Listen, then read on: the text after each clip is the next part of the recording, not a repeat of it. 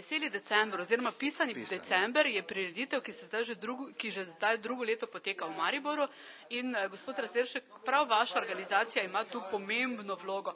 Kakšne so pravzaprav letos novosti, ki jih pripravljate tako za Mariborčane kot za obiskovalce, ki ob novem letu pogosto prihajajo v Maribor in zasedajo hotele?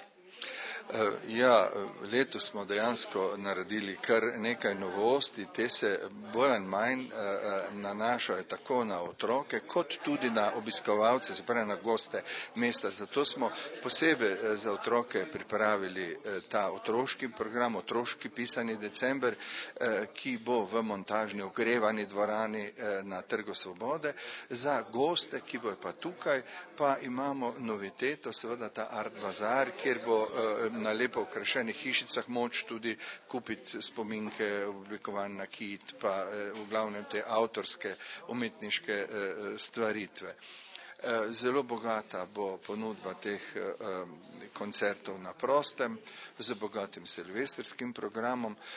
Še kot novost, pa seveda mi kot turistični delavci smo vedno odprti, eh, naš tic je odprt in 25. decembra in 1. in 2. januarja pa bomo letos dali ponudbo tudi posebnih happy hour eh, v hiši Stare Trte, kjer bodo vsi, ki bojo pač želeli poskusiti naše štajerske penine, dobrodošli, ugodne cene bodo takrat in tudi, eh, bi rekel, eno gostoljubno vzdušje.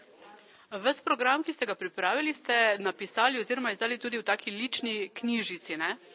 Ja, ta knjižica, to je brošura, ki je tudi prevedena, v glavnem prevedena v eh, dva tuja jezika, angliščino in nemščino. Eh, ta nekako eh, predstavlja program vsega tega pisanega decembra in izdali smo jo v deset tisoč izvodih zaenkrat, pošiljamo jo v vsa zdravilišča, hotele po Sloveniji, tudi po Avstriji, Mačarski in Hrvaški, na turistične agencije, ker menimo, da je to informacijo, to bogato ponudbo pisanega decembra resnično potrebno spraviti do ljudi.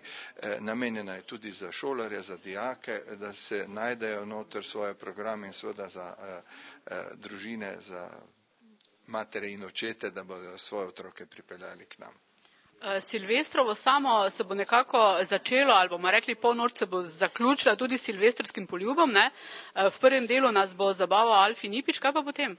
Potem pa je na vrsti Saška Lendero, naša popularna eh, glasbena zvezda slovenska s svojo skupino in zadnji del od druge ure pa do četrte ure zjutraj pa skupina Skater. Ne bo manjkal seveda bogat ognjemet, Maribor je vedno slovel potem, da ima najbogatejši in rekel, najlepši ognjemet v Sloveniji.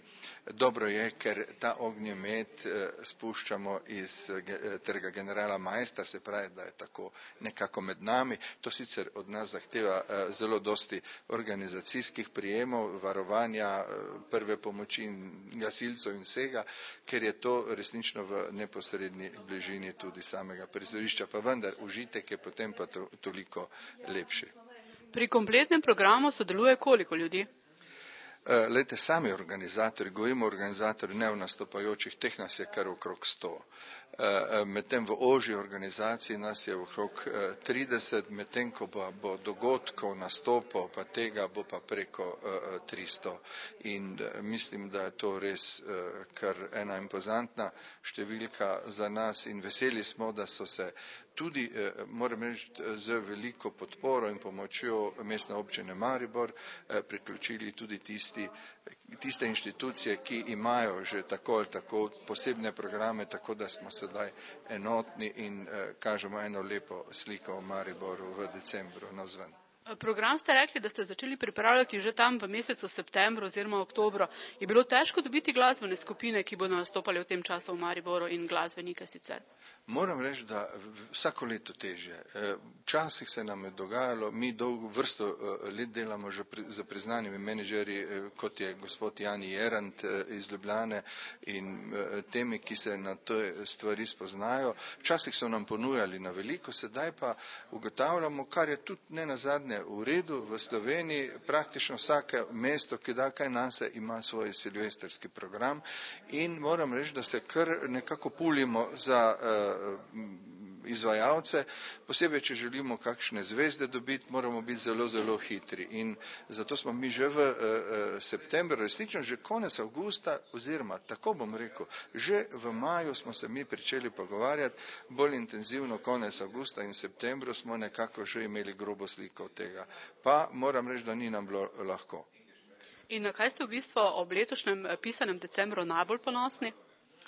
Uh, moram reči na to, da je toliko uh, inštitucij se združilo v to, da je knjižica letos uh, že s programom za osem strani eh, širša, kot je bila lansko leto, eh, da ljudje nekako sprejemajo to naše ime pisane december, ker veselih decembra je po Sloveniji kar dosti, ne glede na to, da smo čuli, da je bil eden prvih v Mariboru in eh, da smo dodali nove programe, obljubljamo pa še presenečenje v sami tehničnih izvedbah, Eh, namreč posebej s svetlobnimi efekti bomo pa pričarali eno čarobno vzdušje tu v mestu ob koncu leta še posebej.